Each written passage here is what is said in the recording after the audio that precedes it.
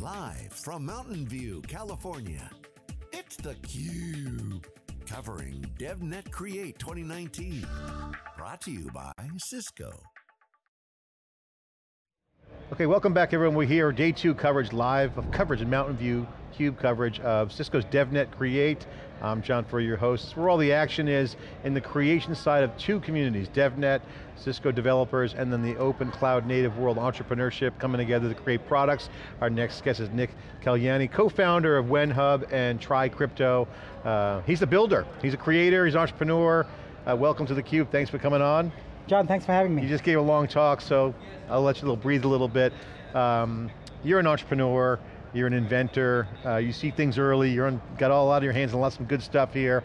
Um, so it's a perfect place for you to be giving talks and hanging out. Absolutely, I, I love the fact that people are here to learn, they are here to find out about the new innovative things that they can uh, experience uh, hands-on. And I just gave a workshop uh, on smart contracts on uh, the blockchain and I loved the questions I got and the energy that's there. What were some of the questions you were getting? What was the interest? What were people going at it? Because networking's a supply chain problem. You can almost imagine applying blockchain to networking constructs. Yeah, absolutely. I mean, uh, it's, you know, blockchain is one of those technologies that is misunderstood uh, quite a bit. And some of the questions I got uh, really helped me, help reinforce that. Uh, ultimately what I was trying to do is make sure that people underst understand that blockchain is not a solution for everything.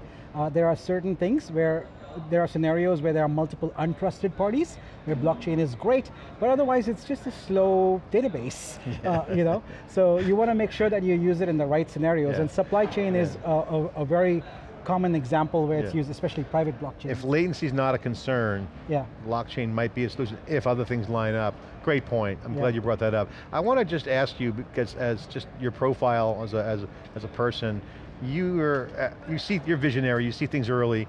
Part of the show here that's interesting is it's not like this research kind of thinking, although research tends to think about the waves coming. It's about what's here and now and what's, what's coming, but it's also making things real and creating. So a lot of the conversations are fun, exploratory, discovery oriented, but also there's a lot of reality kind of grounded in it. You know, entrepreneurs make some mistakes. If, you, if, you're, if you're too early, you're misunderstood for a long time. Yeah. It's got to be a little bit early at the right time. Timing's everything.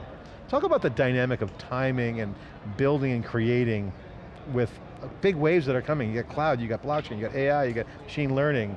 Talk about this, this dynamic. Absolutely, yeah, so, so timing is so important, especially when you have startups, right? You could have the greatest technology and maybe the market's not ready for it, and so, yeah, it, it, it fails, and I've, my, my, first startup was like that. I created uh, something that uh, uh, the market was not ready for, but fortunately the stuff I'm working on is, is uh, the market is ready for it. So I think one of the things that developers, engineers can do is really look at how not, not necessarily how technology is being marketed, but what the adoption rate is. If there are more people jumping on it, and a good way to look at that is to look at GitHub and see how many people are creating samples, uh, boilerplates, uh, how many people are writing blog posts, etc. That I think is a better indicator of whether technology is ready for prime time or if it's just all vaporware. Talk about what you're working on now. You're working on some very interesting projects. Um, where are they, what's the status? Yep. Size of the team, collaborative, open source, what's going on? Yeah, so I have uh, two startups I'm working on. The first one is called WhenHub. Uh, so we have a product called Interface that allows uh, anyone to be an expert on any topic uh, and promote themselves through the platform and allows anyone who is looking for expertise on any topic to find them and then uh, pay for them and do a video call, get their questions answered, and the whole transaction is handled via blockchain with either our cryptocurrency or you can use Apple Pay and Google Pay. So uh, we've, we launched uh, uh, a few months ago. We have about 75,000 users. It's growing very fast. And uh, we are just at the point right now where we are trying to scale up. Uh, our crypto uh, token is called WHEN token and it's listed on five different exchanges. So that's one thing. While building that product, one thing became very clear to me. Mainstream users have a very challenging time with using anything blockchain or cryptocurrency related. And it's through no fault of theirs. The ecosystem has been created for developers by developers, and the tools lack empathy for the users. And that led me to create uh, an open source project called TryCrypto, and the mission is to create free open source content and tools to make blockchain and cryptocurrency more accessible to users. So that's at To mainstream, not the, not the killer dorks and the, and the guys who are coding. Yeah, we, we, we wanted to be like non-technical folks. Is it the wallet? It is, is, is, it the wallet that's the problem, or is it just overall too techy? You know, John, John, the, the, the very word wallet is the problem because it gives this idea that there's something within it. And uh, as, as we were talking earlier, you know about blockchain, there's nothing in the wallet. It's just a placeholder for your addresses, right? So in fact, I'm trying to solve that problem with a new tool I've created called PhotoBlock, where I use a photo and emojis to replace that.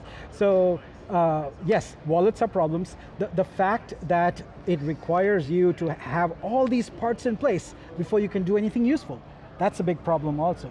Uh, people really need to step back and look at the user experience and say, what are the friction points and how can we eliminate them? And that needs to happen before blockchain and cryptocurrency can have mass adoption. Talk about the choice of smart contract language, use Ethereum, which was, was the hottest development oriented, had the most traction. A lot of ICOs kind of watered that down, still under 300. Other ones are emerging, NEO, EOS, a bunch of other ones. It seems to be kind of like a NASCAR race. One's in the lead, someone's coming up. How do you look at that marketplace as, as other developers start to kick the tires, as people start building these real world apps, is that important to have it selected? Does it matter? What's your thoughts on, on selection yeah, that, that? That's a great question. I mean, I think going back to what I said about how to evaluate a technology, you can see that Ethereum still continues to be the leader. I mean, by far. So while EOS and other blockchains have uh, what appears to be a lot of momentum, if you dig down below the surface, uh, you don't find as much. So I continue to remain a big fan of Ethereum, which doesn't mean I don't care for the other blockchains, but I, I find that right now, Solidity and Ethereum are a good way to move forward. I think uh, EOS is, is also a pretty good platform to build on, but I think uh, they, they, their development tools need to uh, reach some level of maturity. On Ethereum, uh, the folks that have created the truffle stack, the truffle and ganache package, have done a great service for developers because they've made things so simple yeah. and easy, and something like that needs to evolve. Yeah, and your point earlier, I think is important to know for the folks, developers out there, don't confuse um, the protocol and the token selection on smart contracts with blockchain. Again, you don't have to do everything on blockchain because it's a slow database. Exactly. You can, yeah. you're doing smart contracts, yep.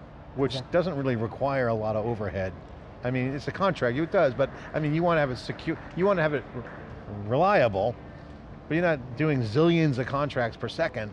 The IOPS are not that high. Yeah, actually, you know, smart contract is also a, a very misunderstood term. In fact, someone asked me, well, is it legal contracts or medical contracts? What is it? So a smart contract is really just an application, right? A programming code that runs on the virtual machines on, on blockchain, and they call it a contract because once it's out there, it's immutable, which means the rules are defined, known, and fixed and can't be, be changed. So uh, when you create a smart contract, really what you're doing is handling a very small amount of data that you want to persist forever yeah. that runs with some rules. And in a decentralized world, world, as we call it in our community, it's a digital handshake. It's like, you, we agreed that we would do this, and yeah. here it is. Like, yeah. It's unhackable. All right, so what are the cool things you're working on? What else you got? Open source project, that's awesome. You got a lot going on. Life's good.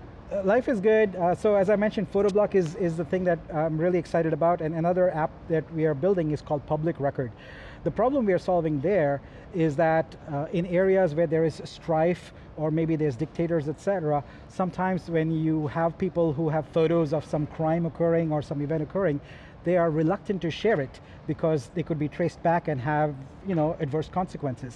So with Public Record, we are building a smart contract driven blockchain app where you can just take a photo and it will push that photo onto IPFS, which stands for the Interplanetary File System, which is a decentralized file system, and it will anonymize the photo. It will strip all the stuff yeah. that your camera puts in there, like GPS, the camera yeah. model, etc. It'll manipulate that photo, and it will then put a hash of that on the blockchain and make it available by location. So you can go to any location and look at all the photos that people have taken there that are completely anonymous and impossible to track back to the And what about user. tampering proof? You have origination data, you strip out the real origination data, that's really important for mm -hmm. some of these countries where people get killed for yep. sharing or uh, try to get the back door out of the country for whether, you know, political revolution, or just simply, you know, I don't want anyone to know.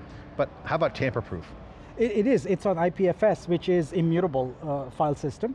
And what we also do is we manipulate the colors and tones of the photo a little bit, so it's impossible to even use AI to go back and reverse engineer and figure out who created the photo. But yeah, so the location, uh, the time and the actual content of the photo is, is not tampered, so public record will, will do that for Okay, so a little, just a little quick uh, Q&A on your company. Did you do an ICO? Did you finance it yourself? Or? Yeah, so with WhenHub, uh, we did uh, do uh, an ICO, but uh, it was at a time when the market was in its bear thing, so our ICO was moderately successful. So in addition to the ICO funds, we are primarily funded by one of my co-founders, who's Scott Adams, the creator of the Dilbert comic strip.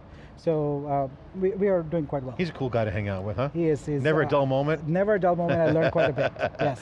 Congratulations, how do people find out how to hang out with you? You got some good things going on here. What do you, where do you hang out? What do you, what do you, what do you do for fun? So, what events you go to? Uh, What's going on with you? I'm on Twitter quite a bit. I'm uh, uh, uh Share your Twitter handle. it's Tech Bubble.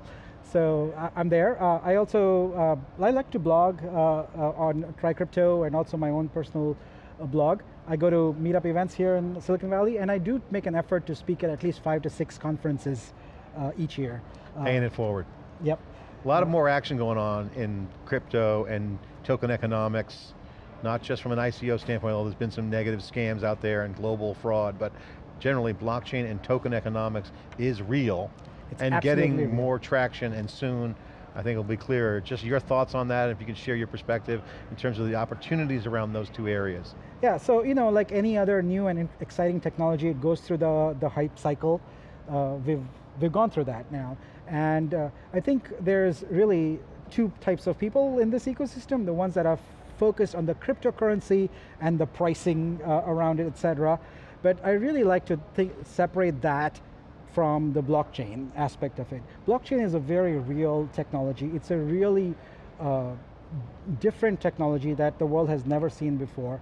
And yes, it's very true that not everything is a good candidate for the blockchain, but there are many, many scenarios where there are multiple untrusted parties that are excellent for blockchain. So I, I think what needs to happen is uh, persons in leadership position need to really evaluate what are those scenarios where there are untrusted you know, en entities involved and limit their blockchain involvement, test pilots, et cetera to that, they're likely to see more success versus just yeah. throwing blockchain in to re replace a database, because that's guaranteed to be a fail. Yeah, Nik, great to have you on. I totally agree with you. You know, the team here, we were in Puerto Rico, we've been in the Bahamas, we've been in Toronto, we've been to all the blockchain events. Consensus is coming up in New York. We won't be, we might be there May 14th. Patrick, get ready, head down to New York, maybe uh, go down there. Great to have your perspective, and great to see the blockchain conversation coming in here in, as the emerging tech and the creation here at DevNet Create continues. Yeah. Thanks Thank for you, coming John. on, Thank appreciate you so much, I appreciate having more me. More CUBE coverage here coming live here at Mountain View after this short break.